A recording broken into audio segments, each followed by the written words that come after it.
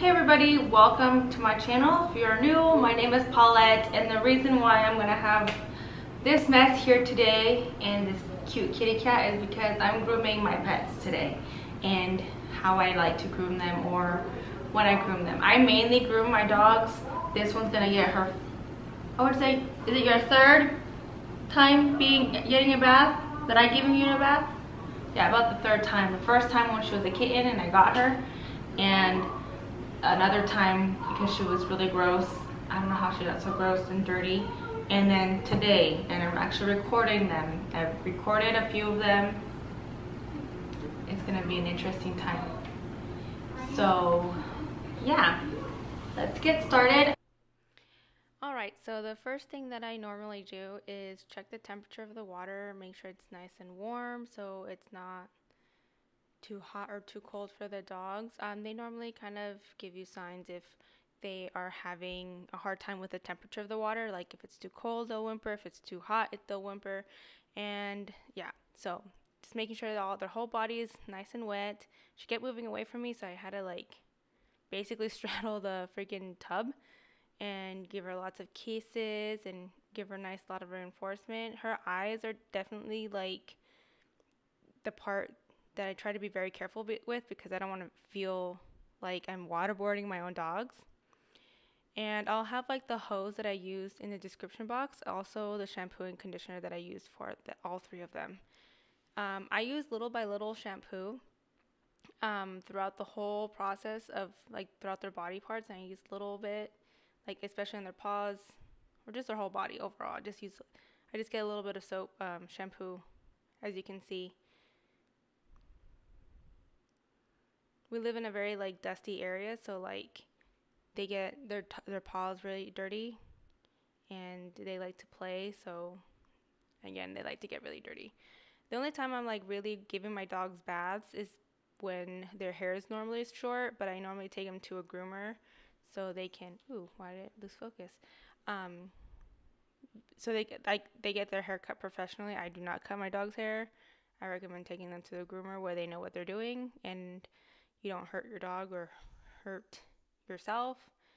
Um, but yeah, so like giving yourself a shower, you rinse off the shampoo, and next is conditioner. So I'm using pet shampoo and conditioner, like the ones you find at a pet store. But my dog's hair are like more hair than fur.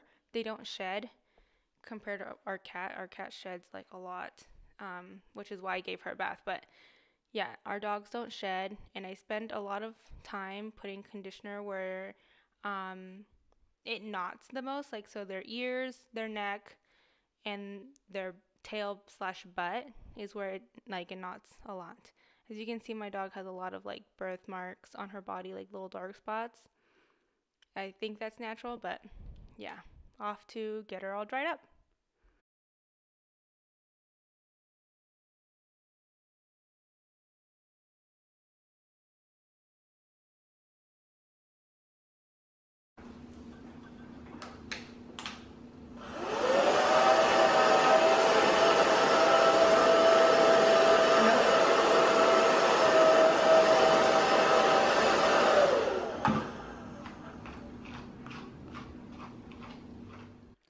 I gave you a beginning clip of how I like to hold um, my dog's head gently against my body and with um, my hand. Um, I normally just hold on to their under their chin or on their snout when I have to brush anywhere near their face. Um, since she has curly hair, it does not a lot more um, with anybody or anything that has curly hair. It just knots a lot faster. So I'm trying to like to untangle her with like the brush that I have. And I'll put those brushes also in the description box. And they're mainly all from like Pets, Petco or Pet Smart. But um, I'll still put them in the description box. Adjusting the camera because it's all. So as you can see, uh, you like barely like putting any pressure on their face. You're holding their snout so you can brush everything out from their face. I had a kind of fight with her because uh, anytime I had the blow dryer on, she tried to eat the air coming out of it. So I had to try to figure out what to do. And I gave her lots of breaks in between by brushing her hair out. My goodness, why does it keep. unfocusing like that or focusing weird like that. Whatever. Anyway, yeah, so every anytime like I started hurting her, oh, she ran away from me. Um, anytime she would look back at me and figure out what I was doing is because I was basically hurting her a little bit. Um, and right now, what I'm trying to do is separate the knots from her tail where she knots the most because she wags her tail like crazy a lot of the time. And I'm using this brush that basically um, cuts out bits of pieces of the, the hair of the knot rather than having to cut out the whole entire knot like basically like a extreme detangler it's crazy um, and what's great that you can switch the directions of how you brush it which is either towards you or away from you so you can switch it as you can see i just switched it again um, i'm trying to do her ears and i like to hold like the base of where their skin and the hair meet so i don't like pull it out because their hair like their skin is stretchy, so like it'll hurt.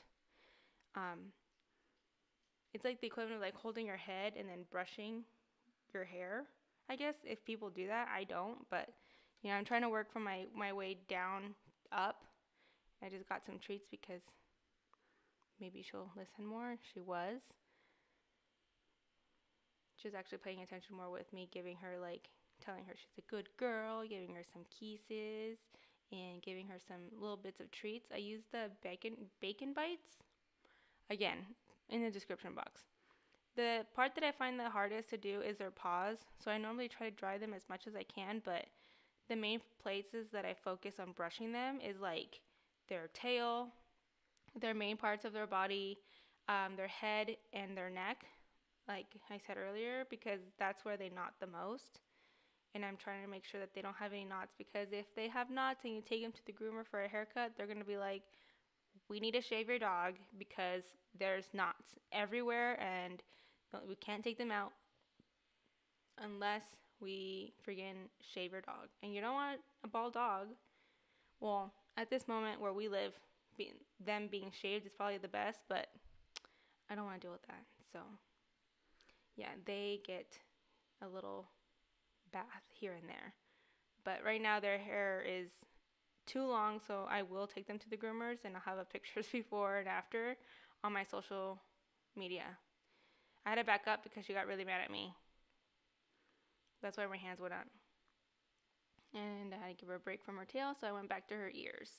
And pretty much I just go on and on, um, make sure that I get all the, the knots, and I switch between each brush to see if I can get them out and then I try to like single out the the knot and use that knot knot detangler thing like the red the black and red brush that you see on the table and yeah um, holding her paws like um, her arms up together and holding her up is when I can able to um, brush under her belly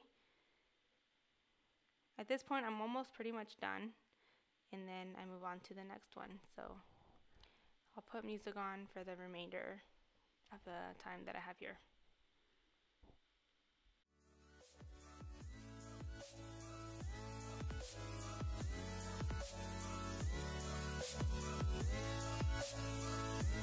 Thank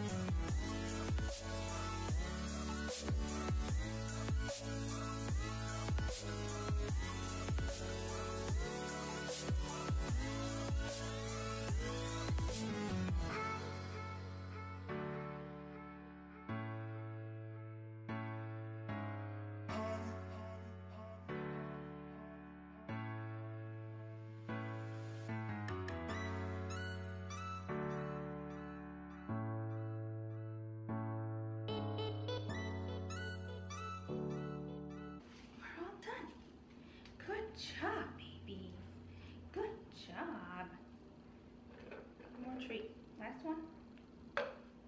Kiss. Give me a kiss. Oh, go girl. Okay, get down. Go, get down. I know you can get down on your own. Go. Next is Bella.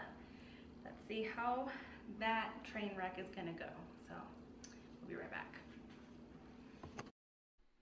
Just like the first one for Siri, um, pretty much, you know, check the temperature of the water, um, rinse her out with the water and um, yeah So I gently hold their arms. I don't ever put too much pressure. Obviously, I just like kind of gracefully hold them up. Um, I guess like the most gentle part is with my grip on their on their paws, but I actually lift them with force, I guess, but not like crazy like I throw them. Obviously, as you can see, um, Bella has a lot of tear stains because she's a big crybaby, so I have I had to focus a lot on her eyes. And what I like to do is put like soap or sorry shampoo on my fingertips, like my my yeah, just basically my fingertips on my left hand because I'm left-handed dominant, and I try to like rub this the shampoo onto her eyes rather than putting like full on shampoo on her face and hurting her eyeballs because you know putting soap in your eyes hurts. You don't want that in your eyes. That burns. So, yeah, I'm trying to focus on other parts. Bella's not very much of a dirty dog. She kind of just likes to hang out and be on people's laps, um, but occasionally she does get dirty. And um, but yeah, the main things that I had to focus on were her eyes. So I had to talk about that.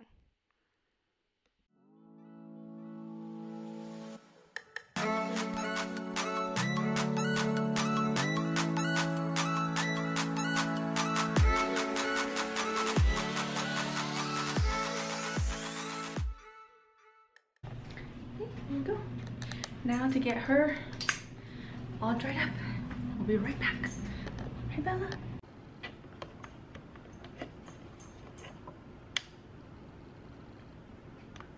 You here to watch Siri?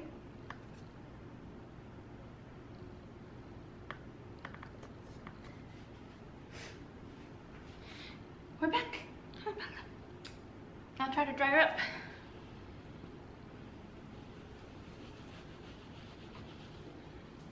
Let's give her some treats to motivate her. Uh, Bella's a picky eater, so I'm going to give her some lunch meat. So I was totally joking when I said Bella is a train wreck. She is actually the most calm dog when I try to groom. She lets me brush her. If anything, she enjoys me giving her or drying her up with a blow dryer because she just wants to be as warm as possible as quickly as possible. I am cutting out some hair that I found inside her ears that were super gross and now I'm cleaning out her ear. And I was like, what is going on here? When did your ear get dirty? It's just a weird discovery that I just found. So I have a Q-tip and I'm gently just cleaning out um, her ears. I'm not going in too deep, obviously, because I don't want to hurt her.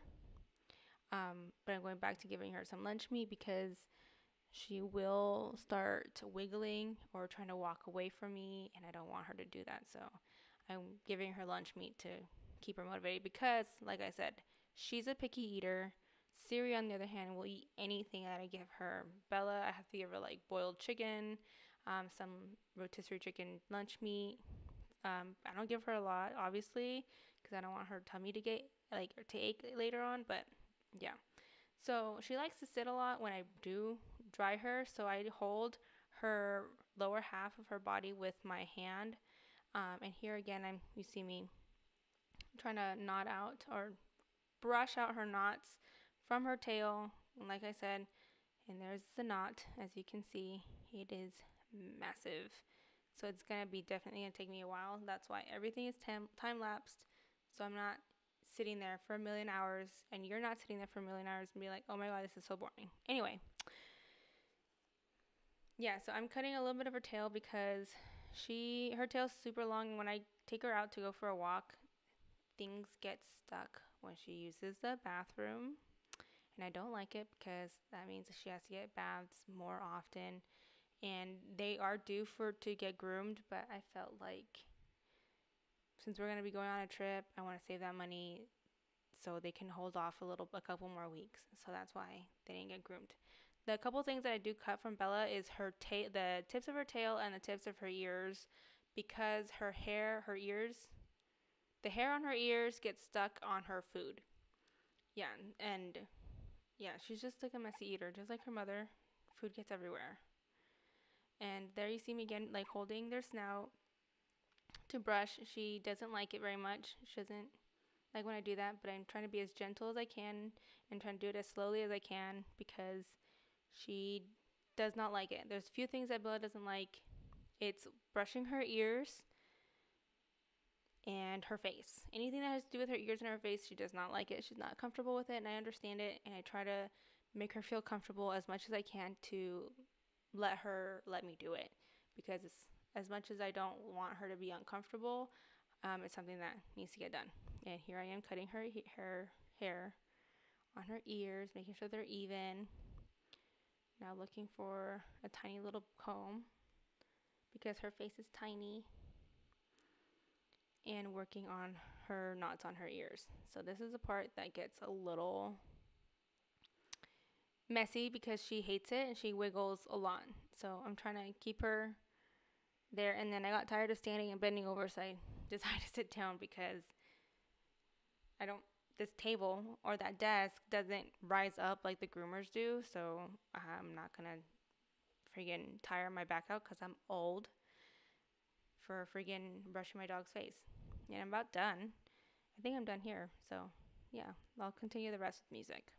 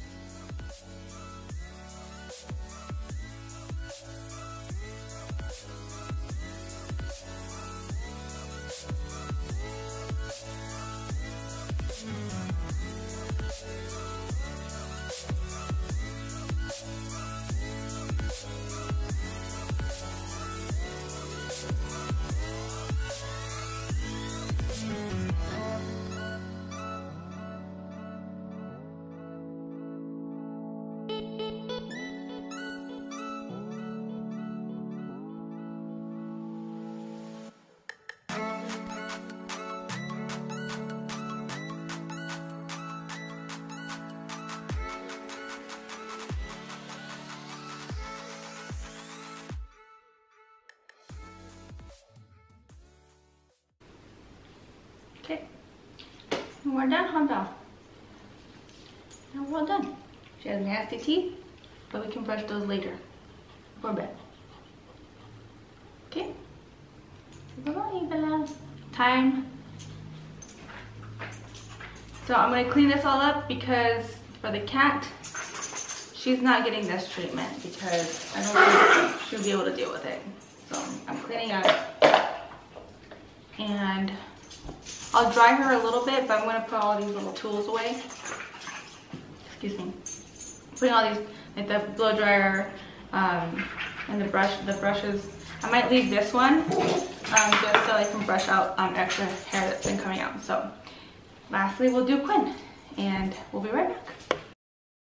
So this, me giving her bath was by far the most difficult thing I've ever had to do. I felt terrible. As you can see, her poor little tail is so fluffed because she's so mad and scared. Cat people don't come after me. I freaking love my cat. Like, I love her and I know she loves me. But the reason I give her a bath at all is because my husband is super allergic and me giving her a bath and taking away some of the shedding that she does and the dandruff that happens around in the house really does help with his allergies.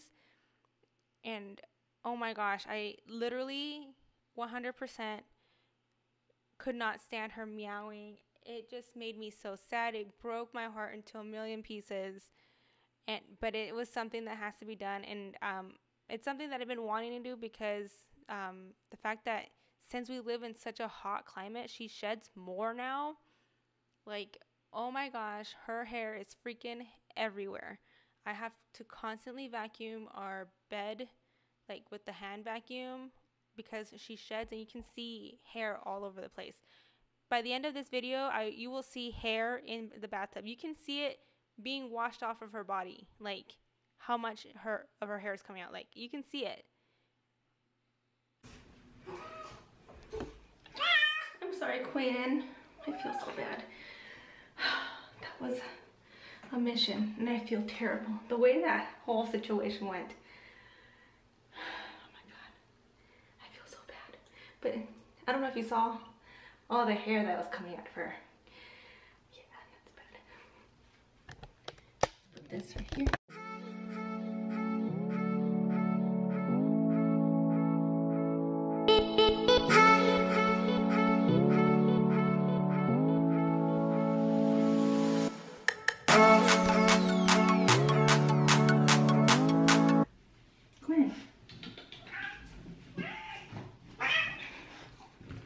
She hates me. Why you do a terrible job cleaning yourself?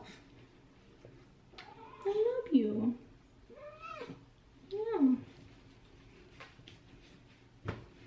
Where is she? She mad? What's that? She probably hates me. Quinn, I'm sorry. I'm sorry. Quinny, I'm sorry. I love you. Did you give her treats? Yeah. I brushed her a little bit. She's not really having it.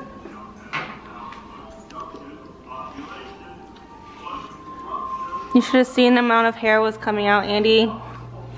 And it's still coming out. Some of it's the dog's, but a lot of it is hers.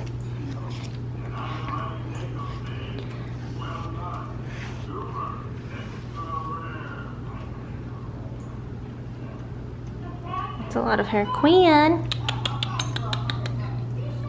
You're showing me that you can bathe yourself. You do it inefficiently. You still have a lot of dandruff and hair everywhere. Well guys, that's the video. I hope you guys liked it. Like, subscribe to my channel if you guys like what I have been putting up. Um, if you have any suggestions of what you would like me to do, just